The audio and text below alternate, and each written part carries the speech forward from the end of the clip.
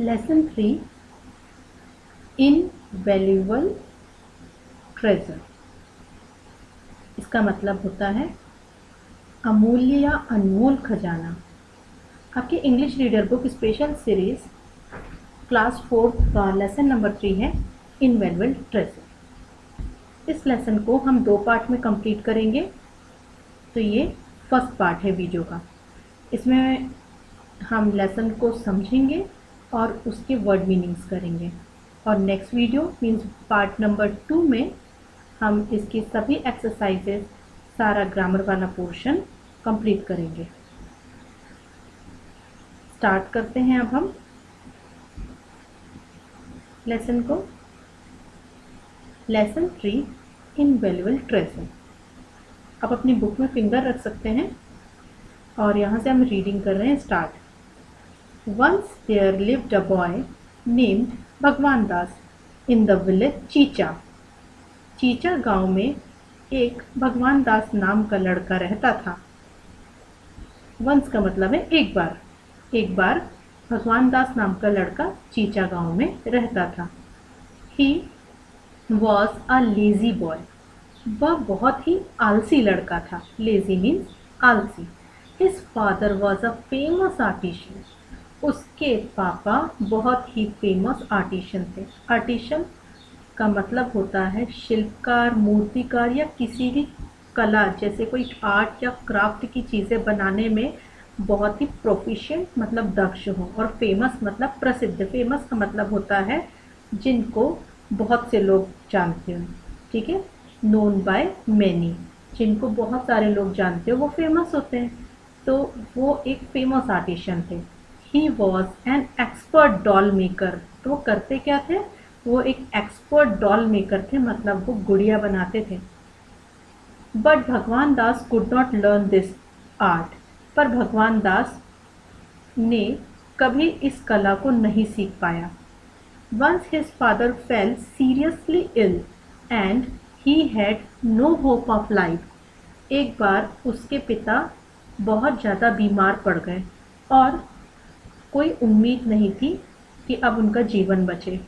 He called भगवान दास and said उन्होंने भगवान दास को बुलाया और बोला सन बेटे I have some treasure for you but you will have to search it मेरे पास तुम्हारे लिए कुछ खजाना है, पर तुम्हें उसे ढूंढना पड़ेगा।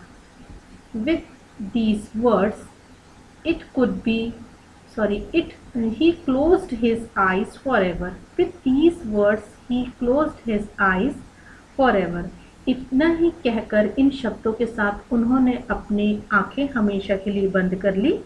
इसका मतलब है, हमेशा के लिए आँखें बंद करने का यहाँ पर मतलब है मृत्यु को प्राप्त करना। Para change.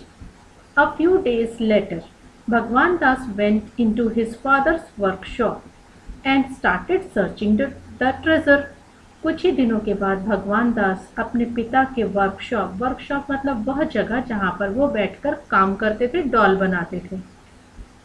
गया और वहाँ खजाना ढूँढने लगा, ढूंढना शुरू कर दिया। But he could not find nothing of that sort पर खजाने की तरह का उसे वहाँ पर ऐसा कुछ नहीं मिला। There he found some readymade dolls colours brushes and moulds वहाँ उसे कुछ बनी बनाई गुड़िया, कलर्स, ब्रशेस और मोल्ड्स मतलब सांचे मिले, जिसमें ढाल के वो गुड़िया बनाते थे। There were some incomplete dolls too too का मतलब यहाँ पर है भी। उसे कुछ अधूरी डॉल्स भी मिली। Bhagwan Das did not understand anything Bhagwan Das कुछ नहीं समझा।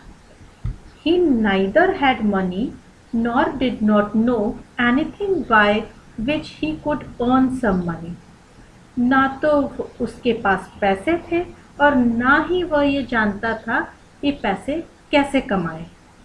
यहाँ पे नाइदर एंड नॉर का यूज़ हुआ है, जिसका मतलब होता है ना ही ये और ना ही वो। जैसे यहाँ लिखा है, ना ही उसके पास पैसे थे और ना तो वह पैसा कमाना जानता था।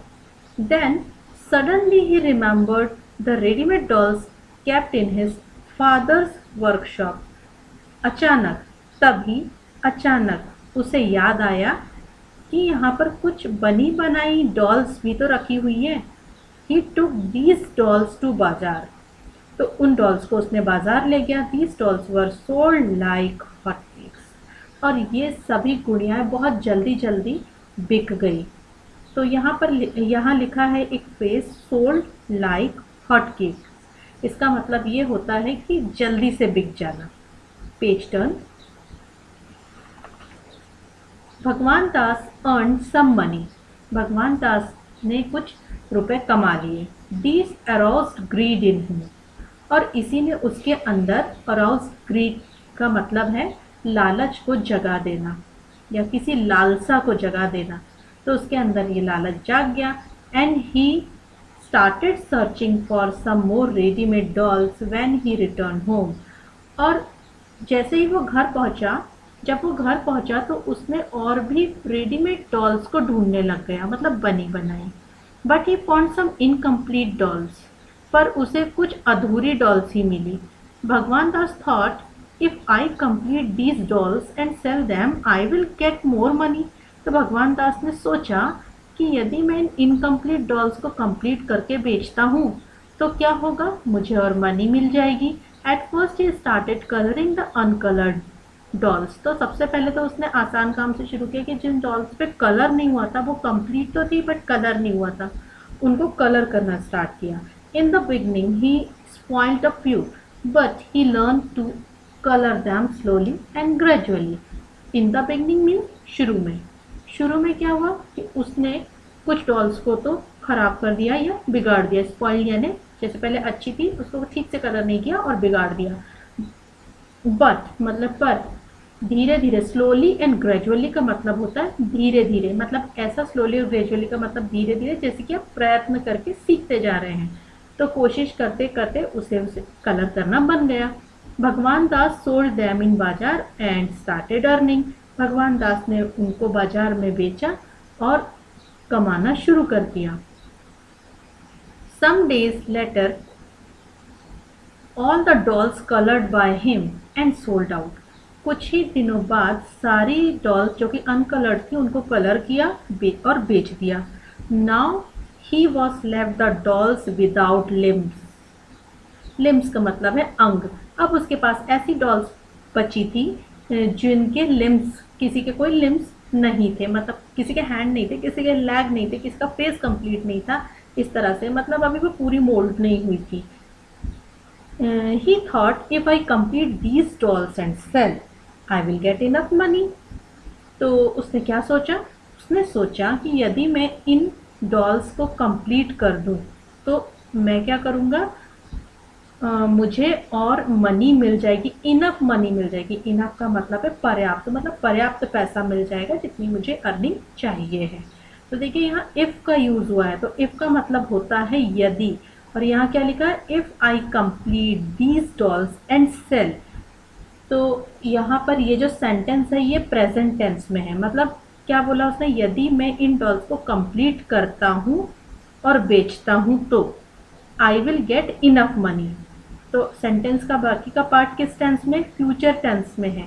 तो हम इफ़ लगाते हैं तो और दो सेंटेंस को इस तरह से कंबाइन कर सकते हैं, जिसमें से पहला सेंटेंस प्रेजेंट टेंस में होगा और दूसरा सेंटेंस फ्यूचर टेंस में होगा। किस तरह का ये सेंटेंस है? यदि मैं ये करता हूँ तो ऐसा होगा। इस तरह का ये सेंटेंस है। तो इसको हम एक्सरसाइजेज में देखेंगे। If I complete these dolls and sell I will get enough money यदि मैं इन डॉल्स को कंप्लीट करता हूँ तो मुझे क्या मिलेगी? इनफ मनी मिलेगी। He started working on the dolls तो उसने इन डॉल्स पर काम करना शुरू कर दिया। अब आपको कि इस तरह की पिक्चर आपके बुक में, जिसमें कि भगवान दास बैठ के काम कर रहा है डॉल्स पर, बनाते जा रहा है अलग अलग लिम्स आपको दिख रहे हैं डॉल्स के। इनिशियली ही वॉज़ अनसक्सेसफुल शुरू में तो उसे सफलता नहीं मिली मतलब अच्छे से नहीं बनी डॉल उससे।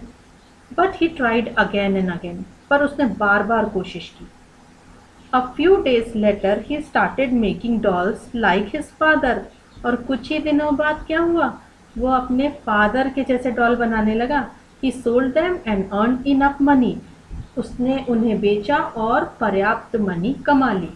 Now Bhagwan Das has had realize the meaning of the invaluable treasure his father spoke of तो अब भगवान दास को पता चला रियलाइज़ मीन्स पता चलना या अनुभव होने के बाद पता चलना। तो भगवान दास को पता चला कि ये इनवैल्यूएबल ट्रेजर मतलब अनमोल खजाने का मतलब क्या है, जिसके बारे में उसके पिताजी बता रहे थे। ये आपका चैप्टर कंप्लीट हो गया है और यहाँ पर इसकी रीडिंग आप करके देखिए। तो हम इसकी ग्लॉसरी स्टार्ट करते हैं। इनवेल्यूबल मीन्स वेरी वैल्यूबल और यूजफुल इसका मतलब होता है अमूल्य या अनमोल। यानी जिसकी कोई वैल्यू नहीं लगा सकते, पर फिर भी वो अनमोल है तो इनवेल्यूबल ट्रेजर का मतलब होता है कलेक्शन ऑफ़ वैल्यूबल थिंग्स मतलब खजाना।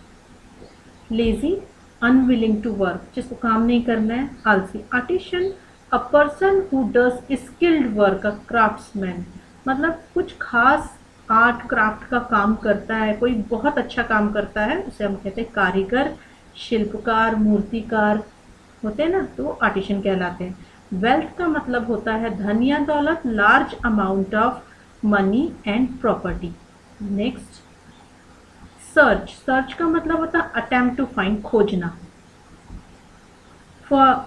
Forever a very long time the state of always existing कुछ ऐसा जो बहुत समय तक, लंबे समय तक जो रहता ही है, उसे हम क्या कहते हैं? हमेशा रहने वाला फॉर एवर मीन्स हमेशा। मोल्ड मीन्स सांचा। Container use for casting statues casting means ढालना। Suddenly quickly and unexpectedly unexpectedly का मीनिंग होता है अचानक से हमें उम्मीद नहीं की थी और क्विकली मीन्स जल्दी से। तो सडनली का मीनिंग हुआ अचानक। Remember means to keep in mind दिमाग में रखना, क्या करते हैं? याद रखना। स्पॉइल का मीनिंग होता है changing something good into bad किसी चीज़ को अच्छी चीज़ से बुरी चीज़ में बदल जाना।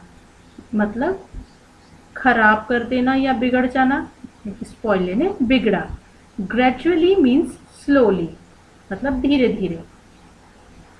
अर्न अर्न का मीनिंग होता है to get money for work यदि आपको डायरेक्ट मनी मिले तो वो अर्निंग नहीं है, लेकिन आपने कुछ वर्क किया और उसके बदले जो मनी मिलती है, वो होती है, उसको क्या कहते हैं? कमाना। Earn realize means to understand समझना, मान लेना expert a person with special knowledge of something यदि कोई पर्सन है, उसको बहुत ज्ञान है एक पर्टिकुलर चीज़ के बारे में तो वो उसका क्या बन जाता है? एक्सपर्ट मीन्स विशेषज्ञ। Sell like hot cakes means to sell quickly और इन ग्रेट नंबर मतलब जल्दी जल्दी और आसानी से बिक्री हो जाना। बस मार्केट में ले गए और जल्दी जल्दी बिक गया मीन्स कोई भी चीज़ तो sell like hot cakes initially at the beginning शुरुआत में शुरू से readymade prepared in advance so that you can use it immediately मतलब कोई भी चीज़ पहले से ऐसी तैयार हो कि आप उसको तुरंत यूज़ कर सकते हैं। रेडीमेड जैसे होटल से खाना लेते हैं, बस तुरंत खा सकते हैं, बनाना नहीं पड़ता। और घर में सामान लाते हैं तो बनाते हैं तो रेडीमेड का मेन मतलब हुआ पहले से तैयार। इनिशियली ये दो बार ये वर्ड आया है एट द बिगनिंग मतलब शुरू से या प्रारंभ से। तो ये आपके वीडियो का पार्ट वन कंप्लीट होता है और जल्दी से हम इसमें पार्ट इसका पार्ट टू हम स्टार्ट करेंगे।